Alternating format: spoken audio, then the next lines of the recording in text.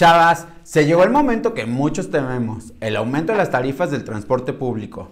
Y es que Ricardo Gallardo dijo estar a favor de estos aumentos. El gobierno señaló que esta será una tarifa justa para la ciudadanía y señaló que esta se debe respetar, ya que será gratis para los estudiantes. El problema con este aumento es que las autoridades no han dicho cuánto subirá esta tarifa, por eso yo ando con el Jesús en la boca.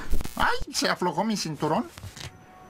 Por otra parte, Hermes Barragán, presidente de la Federación Universitaria Potosina, y hasta la iglesia con su vocero Tomás Cruz Perales ya se proclamaron en contra del aumento. El líder estudiantil comentó que no todos los estudiantes cuentan con la tarjeta Mi Pase, y eso lastima a las economías de las familias. Mientras que el vocero del arzobispado de San Luis Potosí dijo que la calidad del transporte en el área metropolitana simplemente no amerita un aumento en sus tarifas, pues es deficiente. Y agregó que no solamente significa que las unidades estén en buenas condiciones físicas y mecánicas, sino que los conductores también tengan una buena capacitación para el trato con las personas. Por lo tanto, dicho debate debe concretarse en unos días. Por lo que pedimos a los involucrados que si este aumento es inminente, mídanse, ya que puede afectar a los bolsillos de los potosinos.